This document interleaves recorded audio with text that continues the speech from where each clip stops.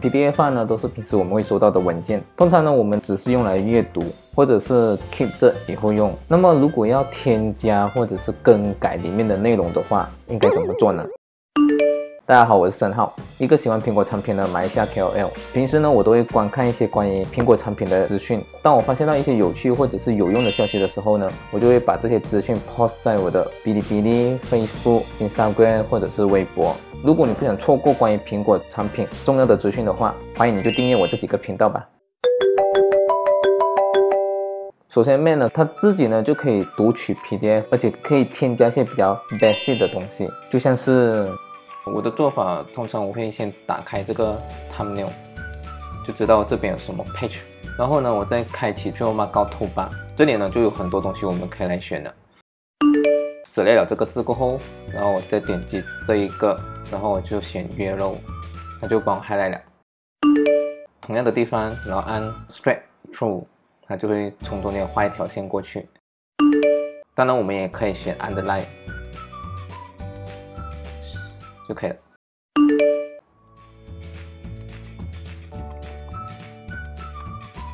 当然，我们也可以改变这个字的大小、字体或者是那个颜色。来到上面这个 A 这边，点击它旁边这个，所以我们可以改变颜色、大小，或者是有没有 underline 这些很普通的东西。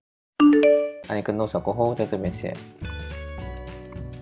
然后我们按随便一个地方，它就收回去。然后再把它移到我们想要放的地方就行了。点击多一次开，它就可以给它开来了。而美中不足的是哦，如果我要 edit 它，或者是做一些更加 advanced 的东西的话呢，这 preview 呢就做不到了。这里呢，我觉得大家可以试试看 PDF element 哦。我会把它的链接啊放在说明文或者是我的留言栏里面，大家可以点击那链接就可以去找。不过你也可以去到 App Store，然后直接搜索 PDF element。点击链接呢，你就可以到达这一个页面哦，然后直接 Open App Store，那它就会直接带你去那个导入 page。因为我之前已经导入过了，所以我是 Open。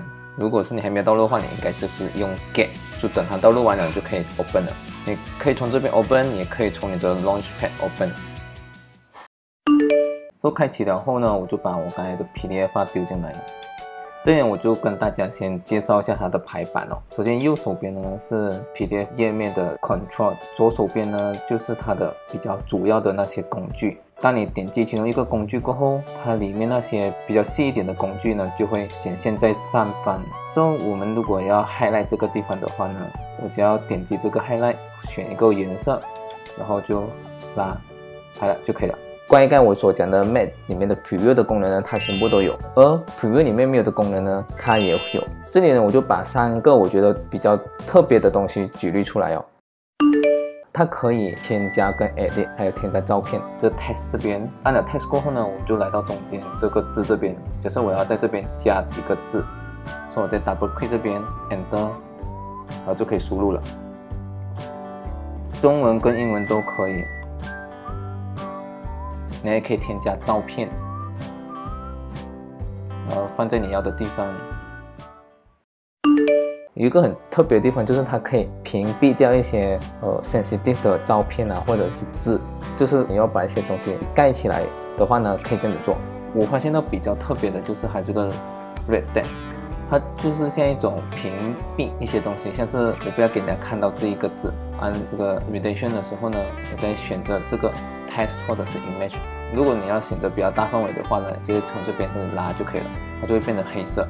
又或者是呢，如果你只是要这个字的话呢，就要对准这个字拉就可以了。甚至你可以好像找出一个字，我就找这个，说它有两个，然后我就屏蔽这两个，全部这个配是两个，我就把这个字给屏蔽掉。当然，这个如果屏蔽掉过后，它是不可以按住的。它可以分割这个 PDF，分割 PDF 呢，其实可以按右手边的这个 Organize Page，然后再按左手边的这个 Split，在这边其实还有很多其他我们可以用的，好像 Rotate 啊，加多一个新的，或者 delete 一个 Page，这里呢我们就按 Split，然后呢我们可以选择不同的 b a t t e n 哦，不过这里呢我就会用这种比较简单的 Number of Page，加我要一个 PDF 里面会有多少个 page。例如是一个的话呢，就代表这也可以分割成三十五个，因为一个 PDF 一个。如果是两个的话呢，就代表一个 PDF 里面会有两个。所以现在我就按 split，就是分割两个页面在同一个 PDF 里面。这里呢，我就按 open，它就会放在这个地方。好，然后它就会显现出来两面。它可以把这个 PDF 呢 export 成不同的 format。所以我们点击左上角的这个发，然后选择 export 度，这边可以选择超过五样东西给我们 export。通常我们会 export 成 Word 或者是 Page。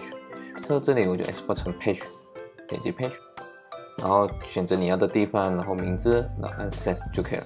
它就会把这个 PDF 变成 Page，然后我们就可以在那边再做其他的 edit。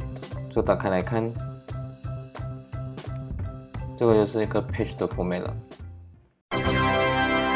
好了，以上就是我跟你分享的编辑 PDF 的一个 tools PDF element。整体来说呢，我觉得它算是一个蛮不错的 app，大家可以登录下来试试看。如果你觉得以上的影片对你有所帮助的话呢，欢迎你给个赞，也分享给你的朋友，说不定可能他们正需要这样子的资讯。最后呢，如果你有什么使用 Mac 的小技巧，或者是你在使用 Mac 时遇到什么样的问题的话，欢迎你留言告诉我。那么我是陈浩，我们下一个影片再见，拜拜。